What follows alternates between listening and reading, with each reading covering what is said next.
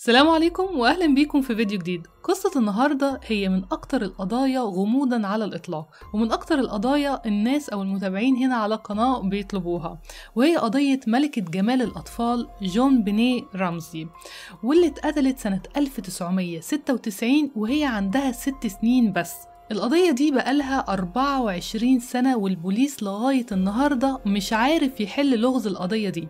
في فيديو النهاردة هنعرف تفاصيل القضية وهنعرف إيه هي أكتر الافتراضات إيه ممكن يكون اللي حصل لجون بني رمزي. القضية دي استعنت فيها بمصادر كتير وهحطهم كلهم في صندوق الوصف ومنهم documentary آه، كان على نتفليكس اللي عنده نتفليكس ممكن يتفرج عليه يشوف التفاصيل أكتر عن القضية دي.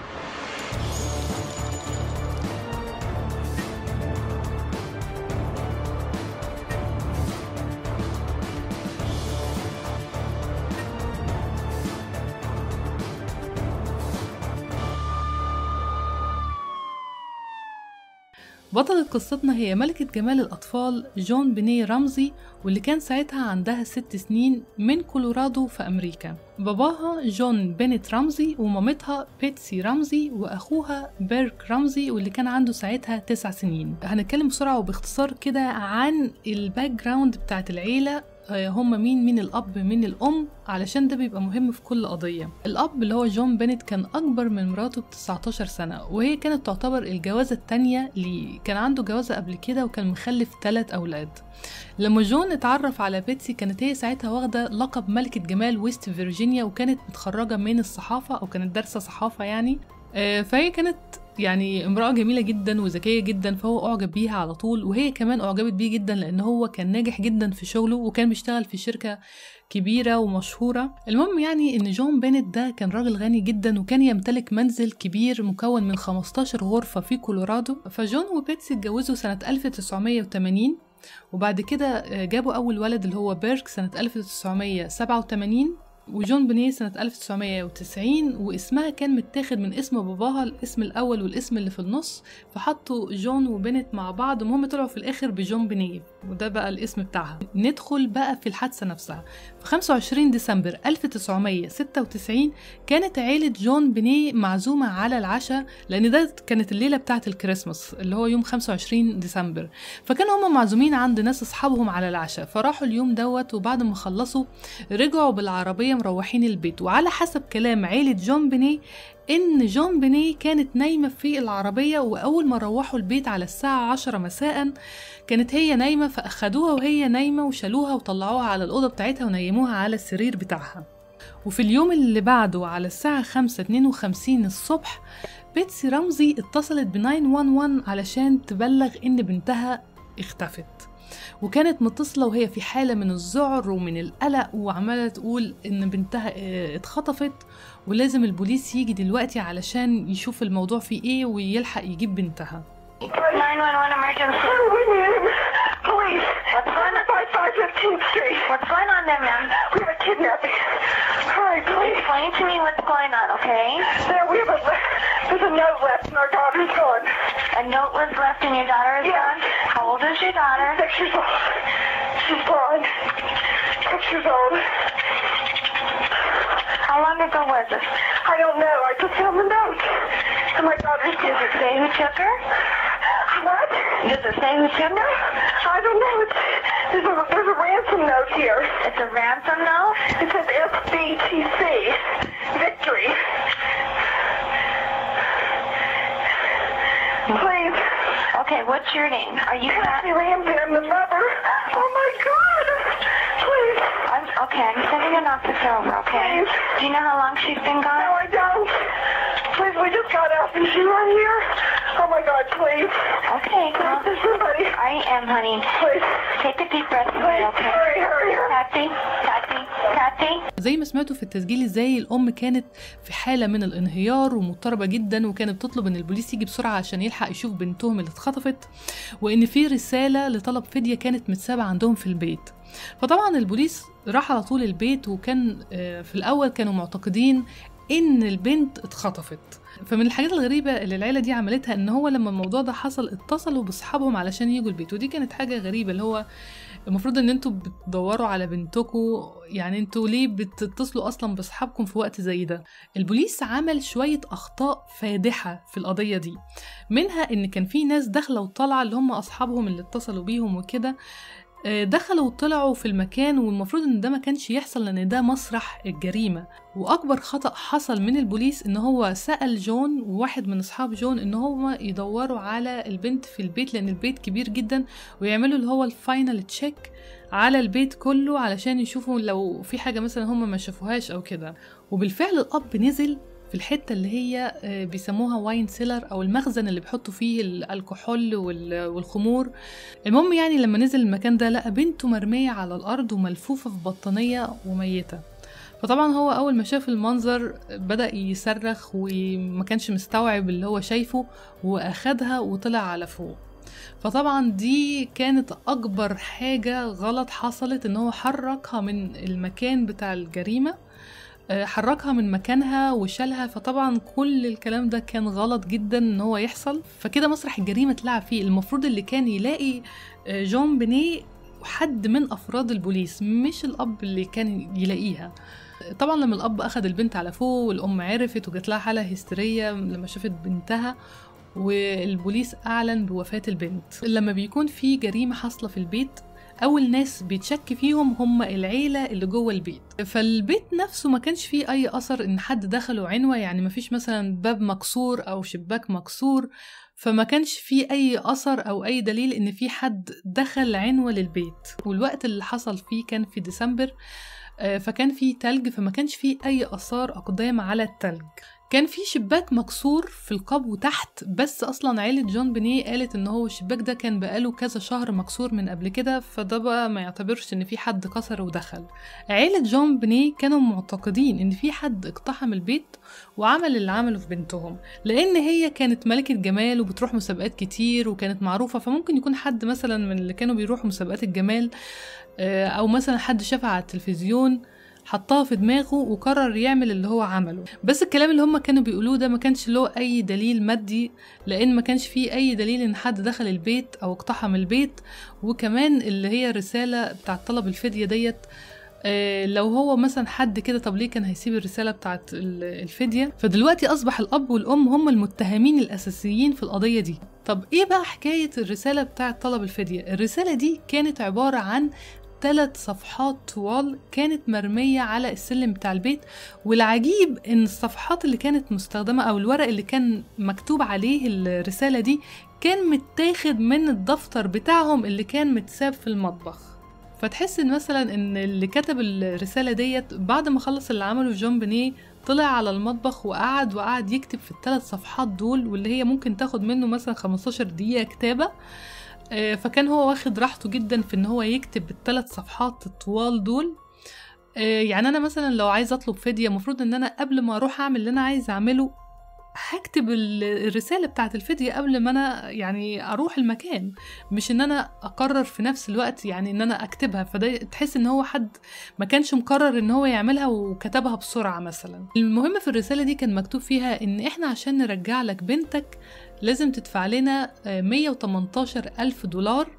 وده كان بالظبط البونص اللي كسبه جون بينت في السنة ديت. فهنا البوليس طبعا قال ممكن يكون مثلا حد من زمايله في الشغل مثلا لأن مين هيعرف الرقم ده بالظبط؟ إذا كان في حد مثلا كان بيشتغل معاه مثلا في الشغل. بس الرقم ده كان غريب جدا لأن مثلا لو حد عايز يطلب فدية من عيلة جون بنيه وهي عيلة غنية جدا كان هيطلب رقم بقى محترم. يعني إيه 118 ألف دولار؟ دي كان طلب رقم آه، كبير. وبرضه كان مكتوب في الرسالة دي إن ما تتصلوش بالبوليس.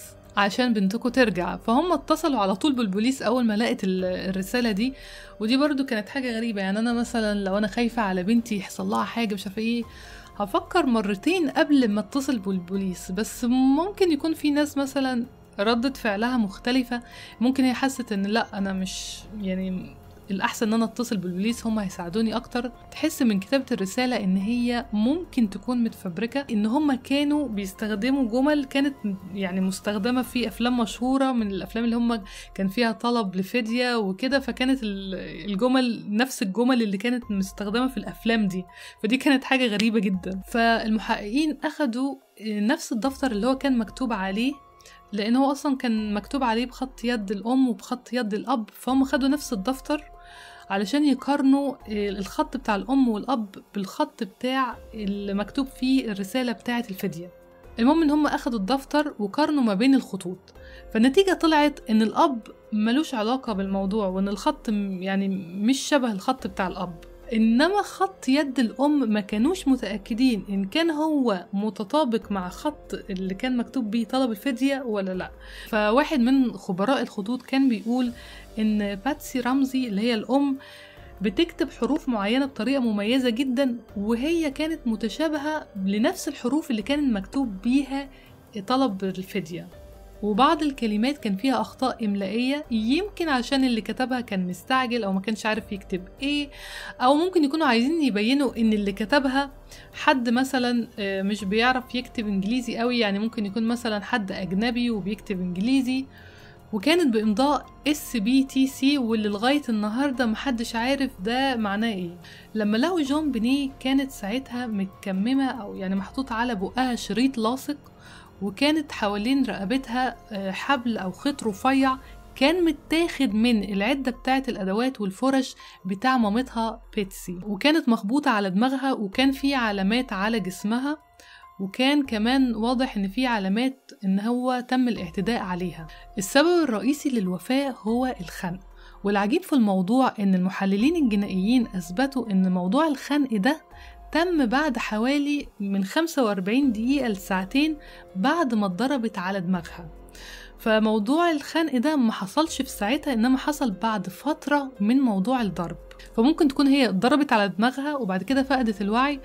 فبعد 45 دقيقة لمدة ساعتين يعني آه، فالعمل كده رجع وكمل اللي هو ابتداه بإن هو خنقها. الشريط اللاصق اللي هو كان على بق جون بنيه كان عليه بعض الألياف أو الوبر. عارفين أنتوا لما بتبقوا آه، مثلا في بلوفر أو هدوم أو كده بيبقى فيه زي شعيرات أو وبر طالع من الهدوم. المهم يعني هم لقوا على الشريط اللاصق ده الوبر ده من اللبس بتاع آه، الأم اللي هي باتسي. من الحاجات برضو اللي هي تخليك تشك في العيلة دي إن باتسي كانت لابسة نفس اللبس اللي هي كانت لابساه وقت ما كانت في العشاء في اليوم اللي قبله عند الناس أصحابهم. كانت لابسة نفس اللبس لغاية اليوم اللي بعده لما قابلت البوليس. وبرضه من الحاجات اللي كانت الناس بتنتقد فيها العيلة بتاعت جون بنيه إن هم كانوا كاتبين على القبر بتاعها 25 ديسمبر. طب إزاي أنتوا قايلين إن هو يوم 25 ديسمبر؟ أنتوا المفروض أصلا أنتوا ما تعرفوش الوقت بالظبط اللي حصل فيه الموضوع ده كان إمتى. هل هو كان في الليلة بتاعت 25 ديسمبر ولا في صباح اليوم بتاع 26 آه، ديسمبر؟ فالناس كانت بينتقدوا أنتم يعني على أساس إن هم ما يعرفوش أصلا اليوم بالتحديد. بس أنا عن نفسي شايفة إن الموضوع ده عادي هم أكيد اختاروا يوم من اليومين وخلاص. يعني هم مضطرين إن هم يختاروا يوم عشان هم يحطوه على ال- القبر بتاعها. في بعض الافتراضات إن بيرك اللي هو أخوها ممكن يكون هو السبب في اللي حصل. بس الأم والأب كانوا بيقولوا إن هو كان نايم طول الوقت على سريره لغاية لما البوليس وصل البيت. بس اللي يخلي الواحد ما يصدقش الكلام ده إن هي أصلا كانت بتقول إن هي كانت بتدور على البنت. طبعا أول ما اكتشفت إن هي مش موجودة في البيت فكانت آه، بتدور عليها في البيت وكانت بتصرخ وبتزعق وبتدور على البنت وبتنده باسمها. وفتحت الأوضة بتاعة النوم بتاع بيرك. فالمفروض يعني إن هو يكون سمع صوت الصريخ والزعيق وكل الكلام ده. المفروض إن هو يكون يعني صحي من النوم. في أدلة كمان ظهرت مع الوقت وهي مكالمة التليفون اللي هي 911 فاللي ردت على التليفون كانت بتقول إن هي كانت سامعة أكتر من صوت في خلال المكالمة التليفونية وفي نهاية المكالمة بيتسي كانت فاكرة إن هي قفلت التليفون بس هي ما كانتش قفلته. فكان في يعني فترة كده ما كانش فيها كلام بس كان في المكالمة كانت لسه مفتوحة. فمع التكنولوجيا الحديثة عملوا تحسينات على الصوت. كانوا سامعين أكتر من صوت في المكان يعني كان في ثلاث أصوات في المكان. فلو الكلام ده صح فالوحيد اللي كان موجود معاهم كان بيرك اللي هو أخوها اللي عنده تسع سنين. فده بيثبت إن قصتهم فيها فبركة وإن هو ما كانش نايم طول الوقت ولا حاجة وإن هو كان صاحي ساعة ما كانوا بيتكلموا في التليفون مع 911 المهم البوليس لقى كشاف في البيت وعيلة جون بني كانوا بيقولوا إن الكشاف ده مش بتاعهم وإن هم عمرهم ما شافوا الكشاف ده قبل كده. والمحللين الجنائيين أثبتوا إن ده كان أداة الجريمة. طيب نيجي بقى على أهم دليل في القضية دي وهو طبق الأناناس اللي باللبن اللي كان متساب على ترابيزة السفرة. فطبق الأناناس باللبن ده كان معروف إن هو من الأكلات أو الحلوى المفضلة عند جون بني كانت بتحبه جدا. فالبصمات اللي كانت على طبق الأناناس باللبن ده كانت بصمات بيتسي وبيرك والطبق ده كان من الليلة اللي قبلها اللي هي ليلة 25 ديسمبر. العجيب بقى في الموضوع إن لما قاموا بتشريح جثة جون بني لقوا في المعدة بتاعتها أناناس ما كانش لسه اتهضم ودي كانت حاجة غريبة لأن على حسب كلام عيلة جون بني إن هم خدوها من العربية لما كانت نايمة وشالوها طلعوها على الأوضة بتاعتها وحطوها على السرير عشان تكمل نوم. فإزاي لقوا هم قطع من الأناناس في معدتها وكانت تبان إن هي لسه واكلاها؟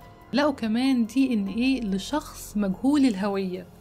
لقوه تحت الأظافر بتاعة جون بني فده معناه إن هي مثلا كانت بتعافر أو بتقاوم حد فكانت يعني مسكته عفرت وكده فطلع ال DNA في تحت الأظافر بتاعتها. وكمان لقوا نفس ال DNA على الملابس الداخلية بتاعتها لنفس الشخص المجهول الهوية. وللأسف لغاية النهارده مش عارفين ال DNA ده يطلع لمين.